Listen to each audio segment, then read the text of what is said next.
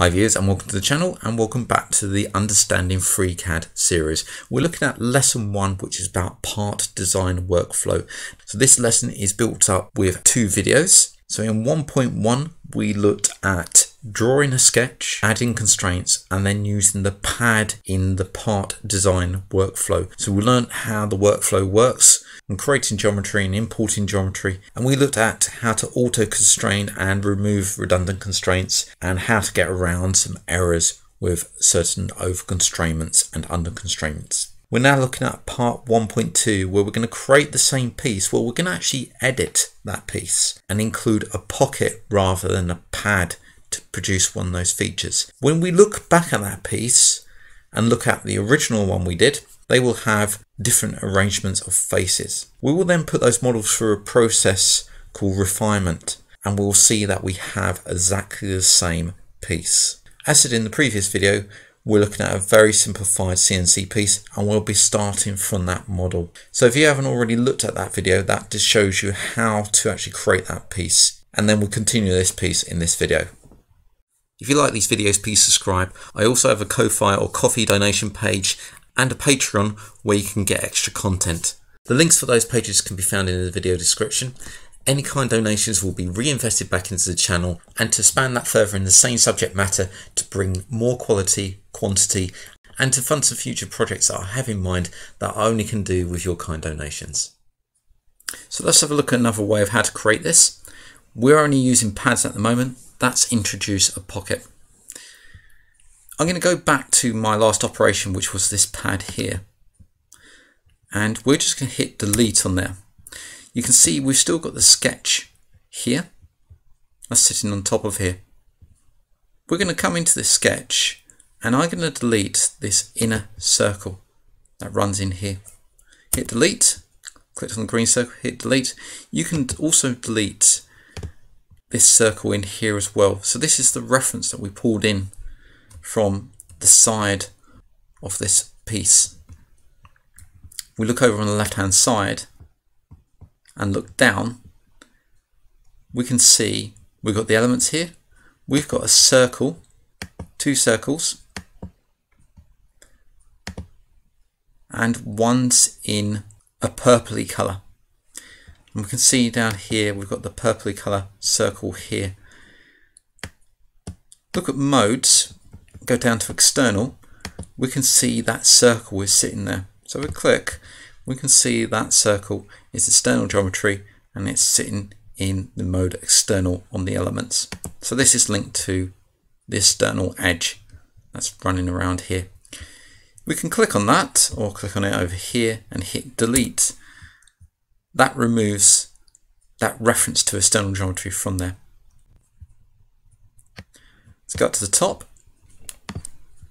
and hit close. So now we've just got a circle that runs around here. I'm going to do the same for the other sketch. So if we come into the pad, we can see there's another sketch in here, which is our bottom sketch. I'll just press the spacebar on here to show it.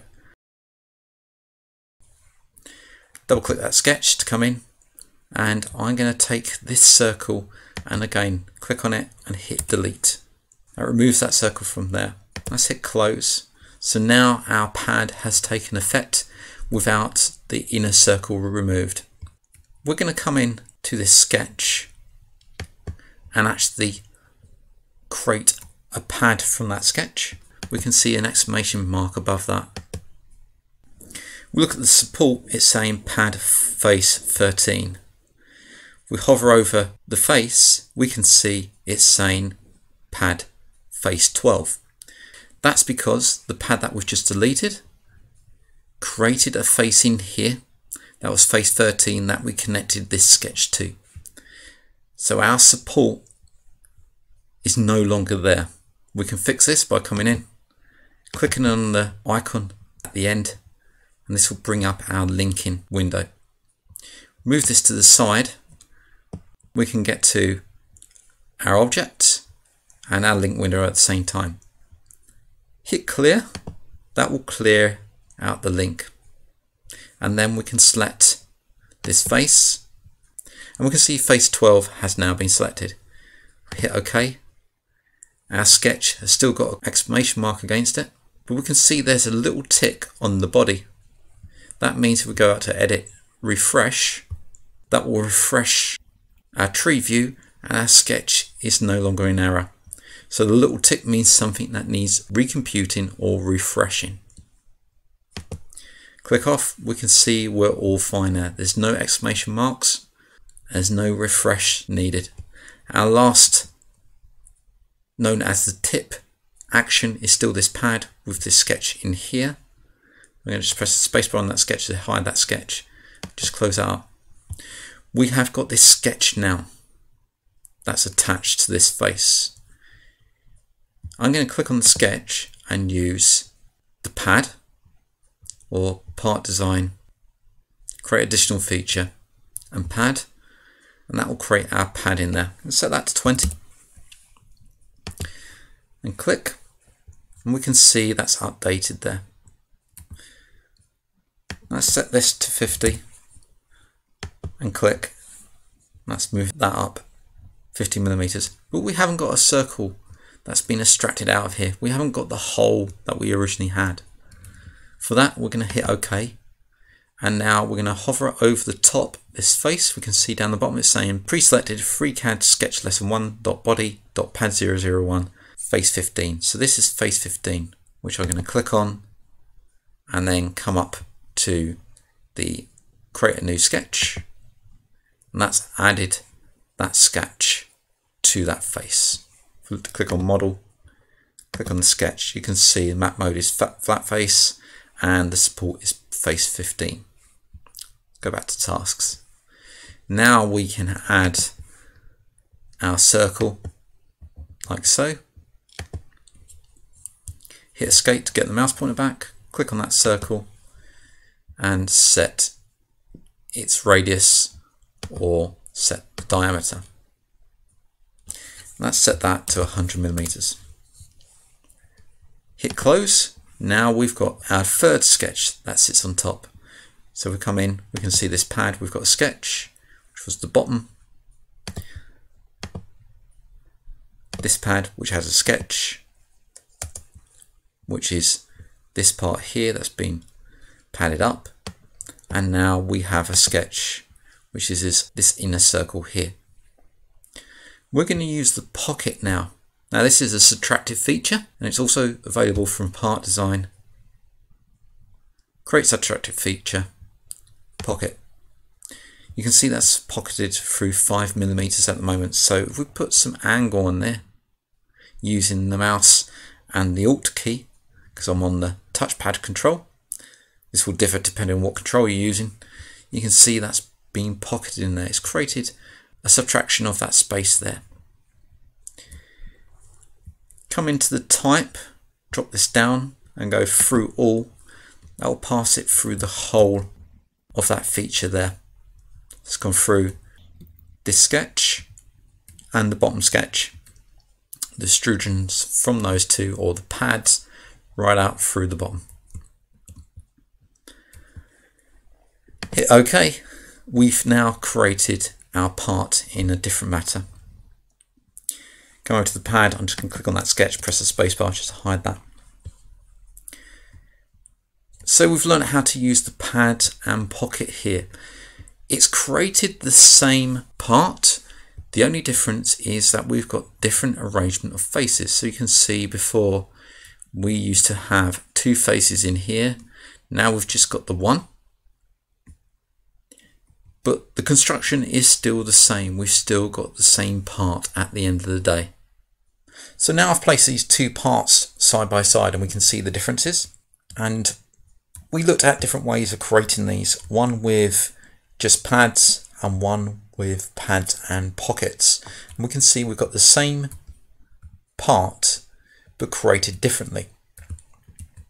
Here's in side by side. So the only difference really is the amount of faces it's created because we used a pad and a pad on this left hand piece and a pad and a pocket through all on the right hand piece.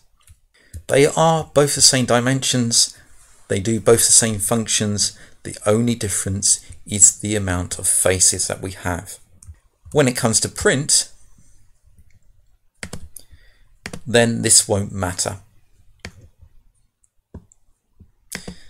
And we can show that by coming into the body, coming into the last pad, and I'm going to come down and set my refine to true. And do the same with this piece.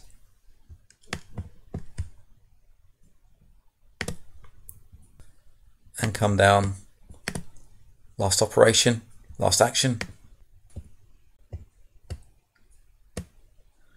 Down to my refine, set that to true.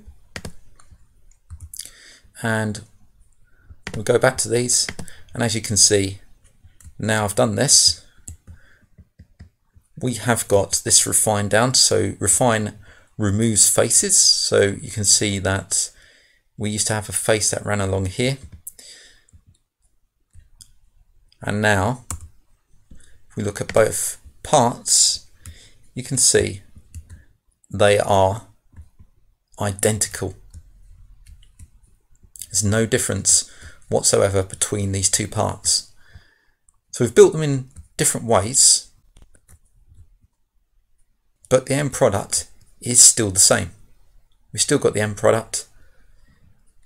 We now got the same amount of faces because we've used the refine. The refine removes connecting faces, so this piece that ran along here connected and we did a refine and it actually removed that piece. The same with the inside of here. We had a face that ran along here that followed this line. And you can see the refinement has taken out this face, made this as one, and it's removed the face in here. So that's the end of lesson one. Please join me in lesson two. We'll be looking deeper into the part design workbench and extending our learning further. If you like what you're seeing, please subscribe to the site. I also have a Ko-Fi or a Ko-fi site that you can donate to if you so desire, and that's at ko-fi.com forward slash MANG0. I also run a Patreon where you can subscribe and get extra content, and that's at www.patreon.com forward slash mango jelly solutions. Any money that's kindly donated will be used to expand the channel. Thanks a lot for watching and subscribing, and I'll see you again soon.